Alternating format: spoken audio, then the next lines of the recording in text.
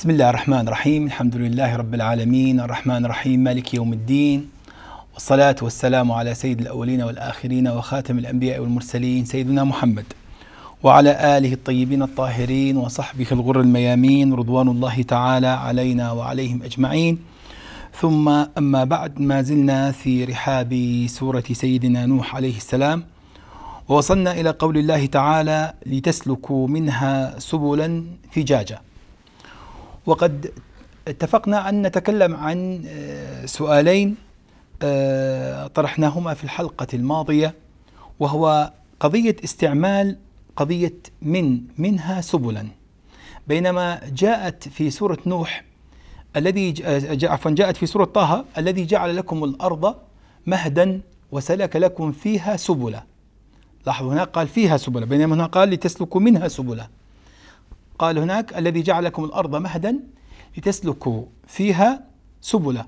وقال في سورة الزخرف قال الذي جعل لكم الأرض مهدا وجعل لكم فيها سبلا. أي أيضا يعني أنه جاءت السبل مع لفظة في في طه والزخرف.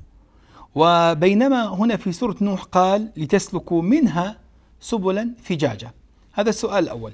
وقلنا السؤال الثاني أيضا قلنا أنه في هذه السورة قال لتسلكوا منها سبلا آه، فجاجة في سورة نوح بينما في سورة الأنبياء قال فجاجا سبلا لعلكم تهتدون. تقديم الفجاج على السبل في سورة الأنبياء وتقديم السبل على الفجاج في سورة نوح واستعمال آه، من آه، منها سبلا في سورة نوح واستعمال فيها سبلا في سورتي طه وسورة الزخرف. واتفقنا أن نجيب عن عن هذين السؤالين في هذه الحلقة بتوفيق الله إن شاء الله. نقول آه، قال أهل التفسير آه، نعمة يعني هناك نعمتان. نعمة وجود الطرق وجود أن الله يعني جعل الطرق ونعمة استخدام الطرق بالنسبة للإنسان. يعني تصور لو لم يكن هناك طرق ولو لم تشق الطرق كيف سيكون التواصل والانتقال من مكان إلى مكان؟ ورغم أنه آيات كثيرة جاءت في بيان أنه الله سبحانه وتعالى يعني قل سيروا في الأرض آه، قال الذي جعلكم الأرض ذلولا فامشوا في مناكبها. وآيات كثيرة جاءت في بيان نعمة الله في وجود آه، الطرق في الأرض حتى يسلكها الناس. آه، إذا هناك نعمة وجود الطرق ونعمة الاستعمال والانتفاع من الطرق. فكأن منها سبلا وفيها سبلا كأنها ضمت النعمتين. نعمة تذكر نعمة أن الله أوجد هذه الطرق والنعمة الثانية أننا استمتعنا وانتفعنا بهذه الطرق. فهذه النعمتان نعمة وجود الطرق ووجود الانتفاع عبر عنها عن طريق منها سبلا وفيها سبلا. هذه وحدة. ولما قدمت سبلا على فجاجة سبلا على فجاجة يعني أريد منها بيان نعمة الطريق إيجاد الطريق. ولما ذكر فجاجا سبلا جاءت نعمة استعمال الطريق. وهذا ما أشار إليه بملحظ لطيف الإمام الزمخشري وتبعه الرازي والنيسابوري. وحقيقة بقية المفسرين نقلوا تناقلوا هذا الأمر آه، عن آه، ما ذكره الزمخشري في تفسيره. فلذلك جاءت منها سبلا أي أن الله سبحانه وتعالى لاحظوا لما قال والله جعل لكم الأرض بساطا أي هنا على نعمة وجود الأرض وأنها جعلها بساط. ثم على هذه الأرض المبسوطة التي جعل الله لكم بساطة هناك نعمة أخرى أنه جعل لكم فيها طرق. فوجود الطرق كما ذكرنا في الدرس الذي مضى قلنا وجود الطرق هي بحد ذاتها أيضا نعمة من نعم الله لأنه لا ينفعل شيء في الكون إلا بإذن الفاعل. إلا بإذن الله الذي يأذن لهذا الفعل أن ينصاع للفاعل. لذلك كل الأمور ترجع ترجع إلى الله سبحانه وتعالى، لذلك في في قوله لتسلكوا منها سبلا فجاجه آه بعض أهل التفسير قالوا هذه إشارة إلى أن الله سبحانه وتعالى مع أنه خلق الأرض ومهدها وجعلها بساطا وفراشا ومهدا وغير ذلك، أيضا هناك نعمة أخرى هي نعمة أنه جعل فيها الطرق لأنه هذا أيضا من تيسير الله سبحانه وتعالى. ولاحظوا هذه الملاحظ الدقيقة والجميلة توجد في القرآن لكنها حقيقة تكون كالكنوز المخبأة والدرر الجميلة التي تحتاج إلى إلى إلى يعني مفسرين القدماء الله يرضى عنهم ويرحمهم جميعا. كيف كانوا يغوصون في أعماق فهم القرآن الكريم ويستخرجون لنا هذه الدرر الجميلة في استخدام منها سبلا وفيها سبلا وتقديم سبلا على فجاج وتقديم فجاج على سبل. نحن تكلمنا عن الفجاج وتكلمنا عن السبل آه، فلا حاجة للإعادة. ولاحظوا وجود النعمة واستعمال النعمة هذا يعني ملحظ جميل. ذكر في موطن آخر عن موقف آخر من المواقف. لاحظ أن القرآن الكريم مرات يذكر عن نعم الجنة ومرات يعني يذكر ما موجود من نعيم الجنة. فيها فاكهة ونخل ورمان وغير ذلك من الآيات اللي جاءت في بيان آه، فاكهة الجنة وأنهار من لبن وأنهار من خمر وطلح منضود وآيات كثيرة جاءت في بيان نعم الجنة. وجاءت آيات أخرى جاءت. آيات أخرى مثلا قال يطوف عليهم ولدان مخلدون بأكواب وأباريق وكأس من معين. وفي آية أخرى ماذا قال؟ يطاف عليهم بآنية من فضة وأكواب كانت قوارير في سورة الدهر. آه ربما ال- الذي يعني يلحظ هذا الفارق الجميل هناك قال يطوف عليهم وهنا قال يطاف عليهم. قالوا ما الحكمة في التغاير يطوف ويطاف؟ إن كان الكلام عن الجنة. قالوا لا آه أهل التفسير عندهم ملحظ جميل. قالوا تمام النعمة هي بوجود أمرين بوجود النعمة نفسها وبوجود الخدمة. حتى تتم النعمة. إذا أوجدت النعمة ولم توجد الخدمة ستكون النعمة ناقصة. وأضرب لكم مثال. كثير من الرجال عندما تكون الزوجة ما موجودة في البيت مثلا ويرجع إلى بيته وهو جائع والثلاجة مثلا مليئة بالطعام ولكنه يستصعب على نفسه أن يقوم ويطهو ويفعل أو ربما يفعل البعض هذا. لكن غالب الرجال يستصعب على نفسه أن يقوم فيطبخ ويهيئ رغم وجود النعمة. لكن إيش الناقص وجود الخدمة. من يعد الطعام لك هذا الغير موجود. لذلك آه تمام النعمة هو وجود النعمة ووجود الخدمة. كذلك لاحظوا هنا ليس فقط أنه المنفعة في وجود الطرق بل المنفعة التامة بأن الله أوجد الطرق وجعل نعمة الاستعمال للإنسان فيها. طبيعي البعض الذي لا يدرك حقيقة أنه ما يجري في الكون كما ذكرنا في دروس ماضية كله بإذن الله ما تسقط من ورقة إلا هو يعلمها. وما يجري شيء في الكون إلا بإذنه وإلا بأمره وبعلمه وبإرادته.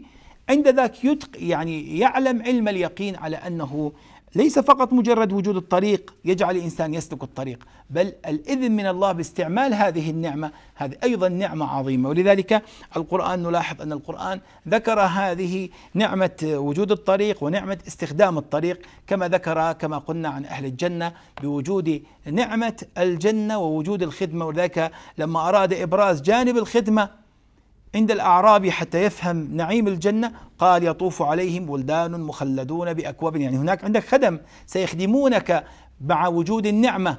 لكن لما أراد إبراز النعمة قال يطاف عليهم بآنية من فضة وأكواب وكانت قوارير. لما أراد ذكر النعمة ذكرها من غير ذكر الخدم. ومرة لما أراد ذكر التركيز على نعمة الخدمة في الجنة ذكر ماذا؟ الخدم الذين يقومون على خدمتك في الجنة. جعل الله لنا ولكم ولوالدينا ووالديكم جميعا أن نكون من أهل الجنة. اللهم آمين. آه، لذلك ذكر الله سبحانه وتعالى تلك النعم لأهل الجنة. هنا نلاحظ أيضا كما قلنا لتسلكوا منها سبلا فجاجا. قال نوح رب إنهم عصوني. لاحظوا يعني ربما بعضكم سيقول آه لماذا أعيد أعيدت لفظة نوح عليه السلام؟ اسم نوح لماذا أعيد مرة ثانية؟ رغم أنه مثلا في الآيات السابقة لاحظوا قال استغفروا ربكم. ما قال؟ وقال نوح استغفروا ربكم. آه قال استغفروا ربكم إنه كان غفارا. قال رب إني دعوت قومي ليلا ونهارا ما قال؟ وقال نوح رب إني دعوت قومي. لا بس ذكر ذكر نوح عليه السلام في البداية إن ارسلنا نوحا إلى قومه ثم بعد ذلك لم يذكر آه، إني دعوتهم ثم إني دعوتهم آه، جهارا ثم إني علنت لهم آه، وأسررت لهم إسرارا فقلت استغفروا ربكم. لاحظوا كل هذه الآيات ما جاء فيها ذكر اسم نوح عليه السلام. ما الحكمة أنه أعيد اسم نوح عليه السلام مرة ثانية؟ لاحظوا القرآن فيه ملاحظ جدا عظيمة. قال كأنه لطول الفترة. القرآن يجعل السامع والذي يتعامل مع القرآن كأنه يعيش الحدث. يعني لاحظ ألم ترى أن الله سبحانه وتعالى عندما خاطب النبي في آه، قصة أصحاب الكهف جعل النبي عليه الصلاة والسلام ومن بعده القارئ نحن نقرأ إلى الآن جعلنا القرآن جزءا من الحدث نتفاعل مع الحدث. قال وترى الشمس إذا طلعت تزاور عن كهفهم ذات اليمين. يعني كأنك أنت أنت الذي ترى الشمس رغم أنه النبي ما كان موجود ولا إحنا كنا موجودين. لكن المقصود ماذا؟ هو سحب القارئ للقرآن أو السامع للقرآن يكون جزءا من الحدث.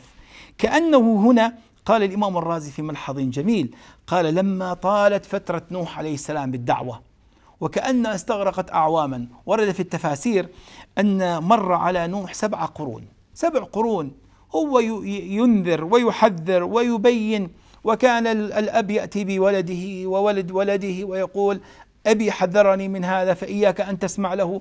والابن يأخذ ابنه ويقول جدي حذرني من هذا فإياك أن تسمع له. وهكذا كان الأمر بالنسبة لسيدنا نوح عليه السلام. فلما طالت الفترة وكأنه هذه المدة التي لم يذكر الله فيها اسم نوح كأنه كلها كان لانشغال نوح عليه السلام في الدعوة. لاحظوا ما أجمل هذا الملحظ الجميل. وكأن نوح عليه السلام حتى القارئ الذي هو يتعامل مع الحدث ويتفاعل مع الأحداث في سورة نوح كأنه طال عليه وقت دعوة نوح عليه السلام واستمرت قرون كثيرة فكأنه جاءت وقال نوح للتذكير على أنه نوح متى تكلم بهذا الكلام؟ لأن سيتغير نوع الخطاب لأنه كلها كانت دعوة وإنذار وإرشاد. لكن لما بدأ عصيان القوم وأيس منهم نوح عليه السلام بعد أن أعلمه الله لأنه طبيعة الحسن نتكلم عن هذه الجزئية. بعد أن أعلم الله كما قال في سورة هود آه، أنه الله أوحى إلى نوح إنه لن يؤمن من قومك إلا من قد آمن. يعني أنه خلص آه، لن يؤمن أحد. إذا جاء العلم كشف الله من علمه آه، الأزلي الأول. كشف الله من علمه لنوح عليه السلام أنه انتهى أمر هؤلاء لن يؤمن أحد بعد. غير الذي آمن معك. عند ذاك علم نوح أنه عليه السلام أنه لن يؤمن أحد.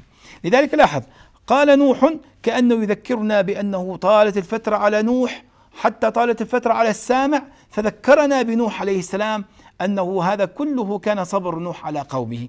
فعاد اسم نوح عليه السلام لهذا الملحظ الجميل جدا. ونحن قلنا سابقا قلنا القرآن ربما يطيل يطيل تطول الجملة القرآنية لإرادة معنى آه، يطول في التنفيذ. يعني معنى معنى يحتاج إلى تحقيق زمن.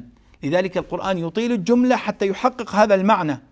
يعني تذكرون إحنا قلنا عندما قال موسى عليه السلام آه، لفرعون في في ما ورد في سورة النازعات قال هل لك إلى أن تزكى؟ هل لك إلى أن تزكى؟ ما قال هل تتزكى؟ ولو لو لو كانت لصحيح هي في اللغة. قال هل تتزكى؟ مثلا وأهديك إلى ربك فتخشى. لكنه ما قال هل لك إلى أن تزكى. هذا الطول في الجملة قالوا لأن التزكية التي هي المقصد لن تحصل بكبسة زر ولن تحصل بيوم واحد. فينام فرعون ثم يصبح وقد يصبح وقد تزكى. لا أكيد يحتاج مجاهدة للنفس ويحتاج رقي ويحتاج إلى منازعة للنفس عن كثير من الشهوات حتى يتزكى الإنسان ويرتقي يرتقي في ذلك بل يحتاج إلى مراجعة لنفسه. ألا ترون أن سيدنا عمر رضي الله تعالى عنه لما النبي عليه الصلاة والسلام قال لا يؤمن أحدكم حتى أكون أحب إليه من ماله من ولده من ماله وولده ووالده ونفسه التي بين جنبيه. فسيدنا عمر ماذا قال رضي الله تعالى عنه؟ قال والله يا رسول الله أنت أحب إلي من كل شيء إلا نفسي. قال لا يا عمر هكذا لا يكمل الإيمان. لكن عمر احتاج إلى مراجعة لأن الأمر حقيقة ليس الأمر أنه رياء حاشا سيدنا عمر. إلى أن قال والله لأنت أحب إلي من نفسي. إذا لاحظوا حتى التزكية تحتاج وقت ولذلك هذا الوقت الذي هو للتزكية آه، آه، احتاج طول في الجملة ليعطينا هذا المعنى. تحتاج طول في الجملة حتى يعطينا هذا المعنى. وكذلك لما طالت فترة نوح في الدعوة يعني احتجنا نحن لا نقول احتاج الله تعالى الله عن ذلك علوا كبيرة لكن احتجنا نحن أن نفهم أنه طول الفترة التي قضاها نوح عليه السلام في الدعوة كأنها طالت علينا نحن كذلك. فأعاد الله سبحانه وتعالى اسم نوح مرة ثانية قال نوح رب إنهم عصوني.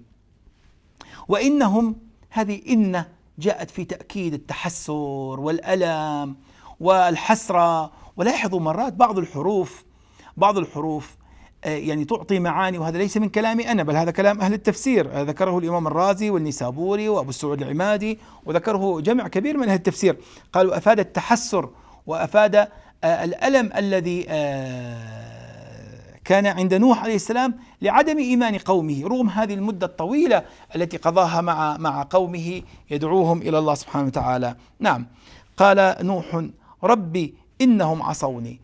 وإنهم عصوني أي إنه يا رب أنا قلت أن اتقوا الله وأن اعبدوا الله واتقوه وأطيعون. هذا كان دعوتي لهم أن اعبدوا الله واتقوه وأطيعون. فكان مقابل أن قلت لهم أطيعون هم عصوني. ولا شك أن عصيان الأنبياء هو عصيان الذي ارسله أرسلهم للذي أرسلهم. فأكيد أن عصيان نوح عليه السلام كأنه عصيان لله سبحانه وتعالى لأنه ما جاء إلا بأمر الله وما بعث إلا بأمر الله. قال نوح رب إنهم عصوني. والعصيان هو في أصل اللغة أن تمتنع بعصاك عن الأمر. أي أنه يعني ما معنى كلمة عصيان؟ قالوا العاصي هو الذي ماذا؟ أمسك عصا. فامتنع بعصاه أي استقوى بالعصا. عندما واحد يكون أعزل ما معه شيء ويؤمر بأمر ربما يضطر إلى التنفيذ لأنه ليس أعزل. لكن إن كان عنده عصا مثلا في السابق عنده عصا كانه امتنع بعصا أي استقوى بعصاه ثم استعملت على كل من يعني لم ينفذ الأمر ولم يطع الأمر فسمي العصيان عصيانا على هذا المعنى. قال ربي إنهم عصوني أي لم يطيعوني. واستقووا بماذا؟ استقووا بما أعطيتهم إياه يا رب. أنت أعطيتهم أشياء كثيرة.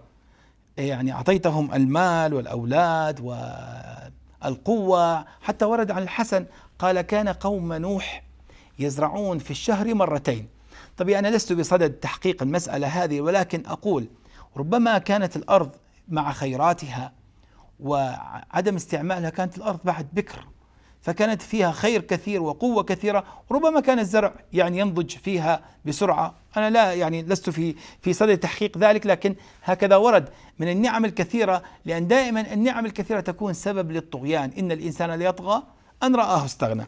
فلما كانت الزروع والمياه الكثيرة والخضرة والنباتات والأرض يعني إذا ألقيت فيها الزرع نبت سريعا وهاج في الأرض سريعا ربما كل ذلك كان سببا في إعراض قوم نوح وفي عصيانهم.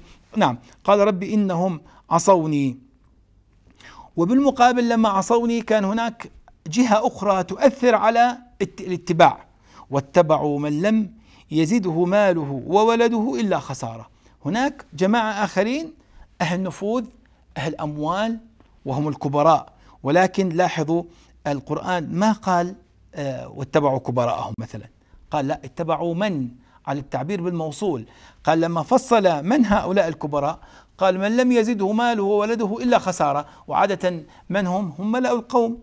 ملأ القوم الذين يملؤون العين مهابة من لفظة الملأ. نعم. فهم اتبعوا الضعفاء والفقراء اتبعوا من لم يزده ماله وولده إلا خسارة. أي كأن المال والولد يا رب الذي أعطيت لهؤلاء كان سببا في أن يعصوني ويتبعون هؤلاء. لماذا؟ لأنه نحن قلنا لما قال تعالى ومكروا مكرا كبارا أي أنه مكروا مكرا عظيما. فالمكر العظيم هو أنهم قالوا لنا قالوا للفقراء وللضعفاء قالوا انظروا إلينا. لو لم نكن على الحق ما أعطتنا الآلهة هذه الأموال وهذه الأولاد وهذه الزروع وهذا الخير الكثير الذي نحن فيه. فإذا هذا يدل على أنهم أن المال والولد كان سببا في سببا ظاهرا في اتباع كثير من الضعفاء وضعفاء الإيمان والفقراء والذين في حاجة أن يتبعوا الكبراء. قال واتبعوا من لم يزده ماله ماله وولده إلا خسارة. يعني كان المفروض أن يكون من عنده مال وولد أن يكون أطوع لله سبحانه وتعالى لأنه بالشكر تدوم النعم.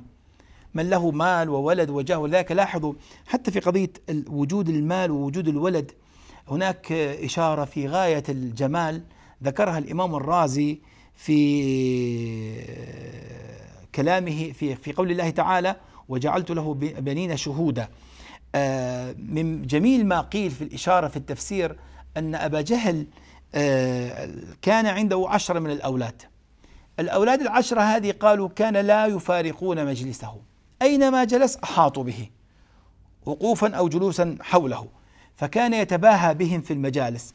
ولاحظوا الإمام الرازي ماذا يعني أخذ ملحظ جميل في ذلك. قال وجود أولادك بقربك هي نعمة من نعم الله عليك. وجود تستمتع بوجود أولادك بقربك هي نعمة من نعم الله وذلك جعلها الله من النعم التي عدها على على هذا الطاغية. قال وجعلت له بنين شهودا جعلت له مالا ممدودا وبنين شهودا أي جعلت له بنو بنين يتمتع برؤياهم فهم يشهدون معه في كل مجلس. وهذا ملحظ جميل جدا. ولذلك هنا قال اتبعوا من لم يزده ماله وولده إلا خسارة. أنه هذه الأموال وهذه الأولاد وظفوها في ماذا؟ في تخويف الفقراء إما تخويفهم بالجاه والمال والولد وإما بإغرائهم بأنهم لاحظوا نحن لو لم نكن على الإيمان لما أعطانا أعطتنا الآلهة هذه الأشياء وهذا أحد تفسير أحد تفاسير التي قالوا ومكروا مكرا كبارا قالوا ما هو المكر الكبار؟ قالوا هو هذا أنهم قالوا انظروا إلى إلينا نحن أهل الأموال وأهل الأولاد لو لم نكن على هذا ما كانت أعطتنا الآلهة. هذا نوع من أنواع المكر. قال ماله ماله وولده وفي قراءة ولده بتسكين اللام وضم الواو. ولده إلا خسارة وهذه يعني لغة أيضا من اللغات موجودة. ويعني الإمام الطبري يقول أنه هذه ولده ولده وولده آه، قد تكون في جميع القرآن على القراءات الموجودة. نعم أي ممكن في كل موطن جاءت ممكن تقرأ هكذا وتقرأ هكذا. وهذا كلام الإمام الطبري في التفسير. قال إلا خسارة. والخسران في الحقيقة هو ذهاب رأس المال.